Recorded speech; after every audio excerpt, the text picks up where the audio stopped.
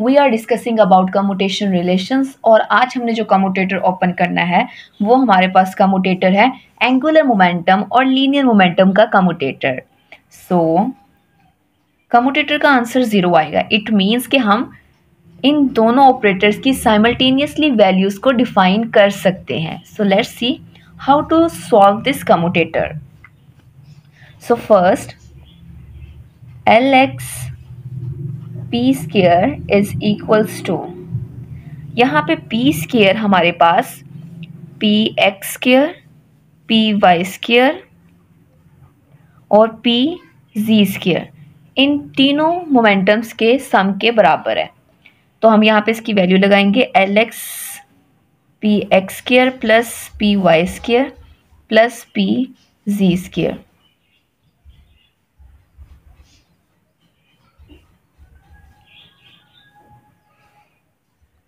तो जब ये कम्यूटेटर ओपन होगा हमारा, ये किस तरह से कम्यूटेटर ओपन होगा?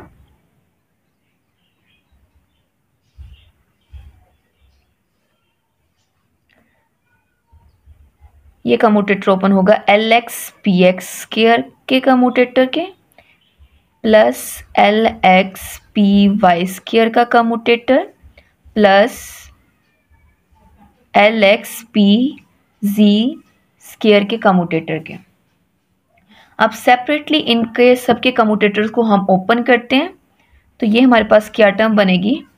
L X P X square minus P X square L X इस चीज़ का कम्यूटेटर हमारे पास ये ओपन हुआ। क्योंकि हमें पता है कि कम्यूटेटर्स को ओपन किया जाता है। कम्यूटेटर्स को ओपन करने का तरीका है ए बी का अगर कम्यूटेटर है तो A B minus B A तो इसी तरह से हमने L X P X square minus P X square L X अब इसी तरह से नेक्स्ट कम्यूटेटर ओपन होगा। L X P Y square minus P Y square L X और लास्ट वन भी इसी तरह से ओपन होगा।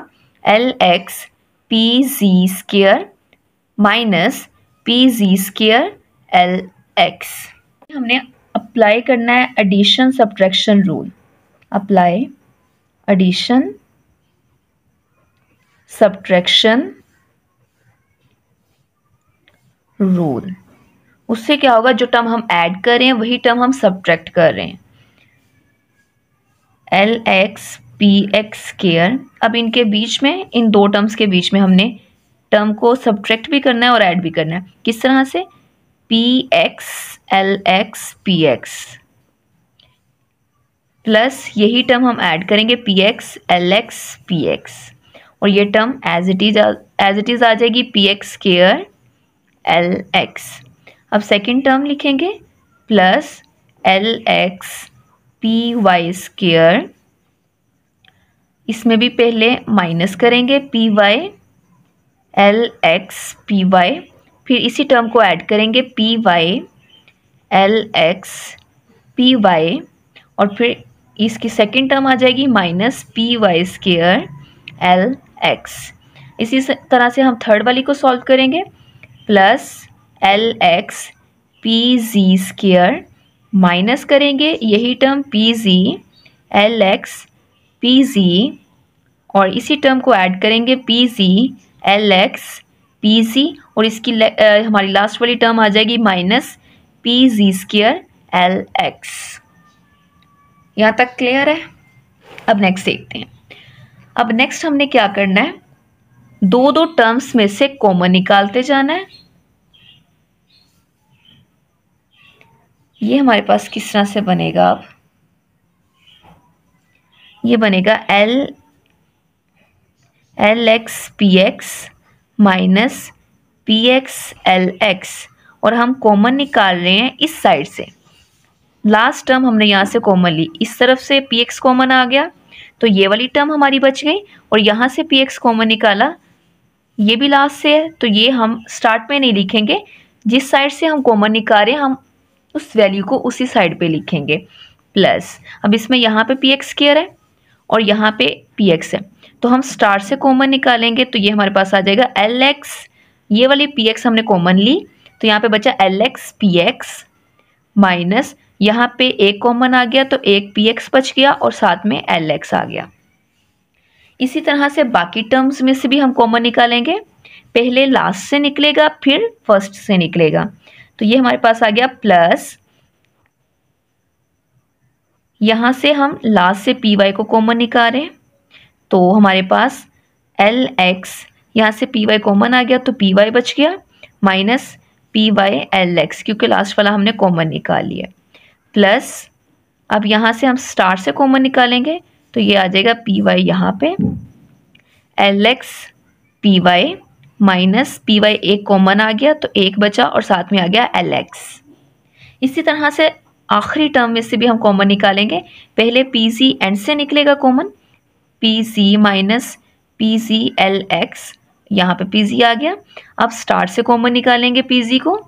तो ये हमारे पास बचा L X P Z minus P Z L X ये कॉम्प्लिकेटेड सा लग रहा है, लेकिन बहुत ईजी है। सबसे पहले हमने बेसिकली हम इसकी वैल्यूज़ को सब्सटीट्यूट करके इस कमोटेटर को सॉल्व करना चाह रहे हैं। तो इसलिए हमने सबसे पहले एडिशन सब्ट्रैक्शन रूल को अप्लाई किया, फिर देखा दो दो टर्म्स में से कॉमन निकाला। अब इसमें हमारे पास ऑर्डर बहुत ज़्यादा मैटर करता है। तो इसलिए अगर हम लास्ट से कॉमन ले रहे हैं तो उसको हम फ़र्स्ट पे नहीं लगा सकते। अगर हमने एंड से कॉमन लिया है तो हम उसको वहीं पे लगाएँगे। ठीक है? तो इस वजह से ऑर्डर बहुत ज़्यादा मैटर करता है। तो इसको हम ज़रा तसल्ली के साथ सॉल्व करेंगे। अब अगर हम इसको गौर से देखें तो ये बन रहा है L X P X minus P X L X मतलब कि ये एल एक्स और पी एक्स का कमोटेटर बन रहा है। तो इसको हम लिख सकते हैं L X P X commutator और ये P X as it is साथ आ गया। प्लस ये P X as it is आ गया। अगेन ये एल एक्स और पी एक्स का कमोटेटर बन रहा है। तो ये हम इसी तरह से लिखेंगे।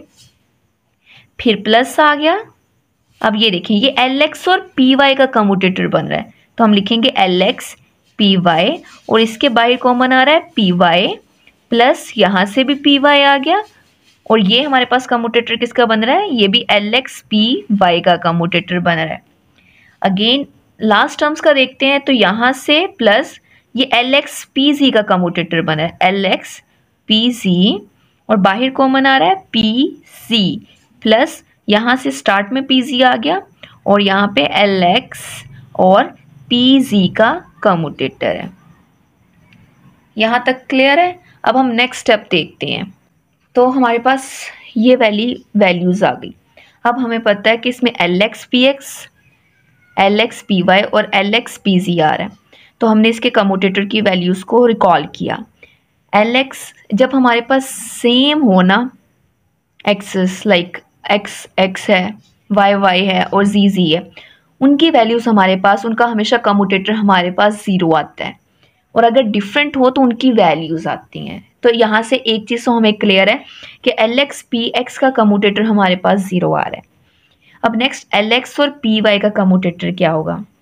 इसका कमोटेटर जब हम सॉल्व करते हैं तो हमारे पास iota H cut P Z की फॉर्म तो इसका कमोटेटर हमारे पास iota H cut P Z की फॉर्म में होता है। और एल एक्स पी जी का commutator minus iota H cut P Y है इस, इसमें भी ऑर्डर बड़ा मैटर करता है एक्स वाई और जी अगर तो हमारा पहले एक्स और बाद में वाई आ रहा है तो पॉजिटिव जी आंसर होगा। इसी तरह से अगर पहले जी और बाद में एक्स आ रहा है जी और एक्स आ रहा है तो आंसर पॉजिटिव वाई होगा। लेकिन अगर एक्स और जी होगा तो answer will be minus Y में। मतलब हमारे पास एक्सिस जो है वो माइनस में होगा। तो यहाँ पे एक्स और वाई में है तो आंसर जी की फॉर्म में आ रहा है। और यहाँ पे एक्स और जी ऑपोजिट है तो माइनस में आ रहा है। तो ये इनको याद रखने का आसान तरीका है। अब इनकी वैल्यूज़ को सिंपली हम वहाँ पे सब्सटीट्यूट करेंगे तो हमारे पास एल एक्स पी एक्स की जगह पे ज़ीरो आ जाएगा और साथ में आ रहा है P X plus again P X और एल एक्स पी एक्स की जगह पे ज़ीरो आ गया। Plus L X P Y L X P Y किसके इक्वल है? Iota H cut P Z के, और साथ मल्टीप्लाई क्या हो रहा है? P Y okay plus P Y आ गया, और साथ में again L X P Y की वैल्यू आ गई। Iota H cut P Z plus L X P Z की वैल्यू क्या आ रही है? Minus iota H cut P Y, और साथ में मल्टीप्लाई क्या हो रहा है? P Z plus P Z और एल एक्स पी जी की वैल्यू हमारे पास क्या आ रही है? ये हमारे पास आ रही है minus iota H cut P Y. अब इनको जरा सिंप्लीफाई करते हैं। ज़ीरो प्लस ज़ीरो, ये ज़ीरो ज़ीरो आ गई term. Plus iota H cut P Y P Z ये हमारे पास आ गई। प्लस इसको भी ज़रा सिंप्लीफाई करें, iota H cut P Y, P Z आ गया। अब ये प्लस माइनस माइनस हो गया, iota H cut P Y, P Z, ये भी टर्म आ गई। प्लस माइनस माइनस हो गया, iota H cut P Y, P Z, इसका भी ये ऑर्डर आ गया। अब ये प्लस में टर्म है, ये माइनस में है, ये प्लस में है, ये माइनस में है, ओवरऑल आंसर क्या आ गया? ज़ीरो। इट मीन्स कि एल एक्स और पी स्क्र का आंसर हमारे पास क्या आ रहा है?